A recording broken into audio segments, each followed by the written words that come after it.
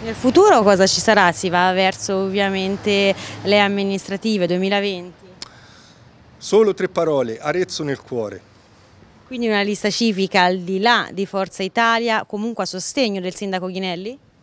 Una lista civica sicuramente. Il consigliere comunale di Arezzo Angelo Rossi lo aveva annunciato in un nostro servizio e nella prima puntata della nostra trasmissione a tu per tu.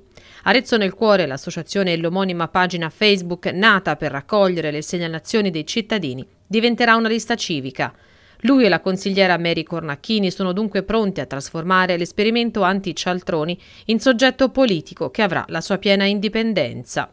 Rossi e Cornacchini per il momento siedono tra i banchi di Forza Italia pur non essendo tesserati. Se ti vai al giro e parli con la gente, dici ah ma la Mary mi ha risolto questo problema, la Mary mi ha risolto questo problema, le telefonano tutti i giorni, abbiamo 10-12 segnalazioni ogni giorno di cittadini a quali lei risponde. E la frustrazione di non essere stati presi pienamente in considerazione come risorsa ha portato ad Arezzo nel cuore, che è esattamente questo. Cioè noi questo lavoro qui noi ci crediamo, noi pensiamo che l'esperienza civica nella quale noi siamo nati e, eh, portiamo avanti sia con la teoria delle finestre rotte che con l'impegno su, concreto sul territorio necessiti effettivamente di essere portata avanti e che sia un arricchimento vero. Se poi lo capiranno, bene, se no... Eh.